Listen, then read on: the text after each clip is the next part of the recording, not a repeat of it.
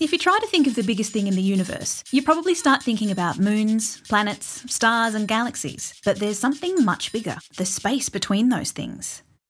Space is so big it's meaningless to measure in metres or kilometres. Instead, we use light years. A light year is how far light can travel in a vacuum. Not that vacuum, the vacuum of space, where there's pretty much no matter in one Earth year. Light is fast, very fast, about 300,000 kilometres per second fast.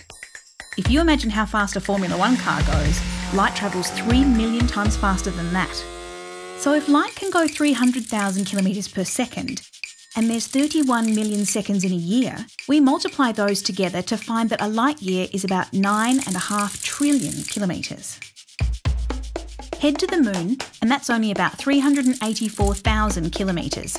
That's just over one light second away, but it takes us about four days to get there in a spaceship. Go all the way to the sun, and it's still only 150 million kilometres. That's only about eight light minutes, not even close to a light year. The big numbers come in when you start measuring galaxies.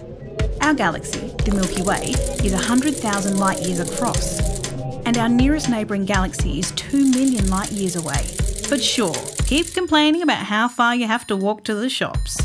Light years. They're a measuring tape for space, helping us understand just how big our universe is.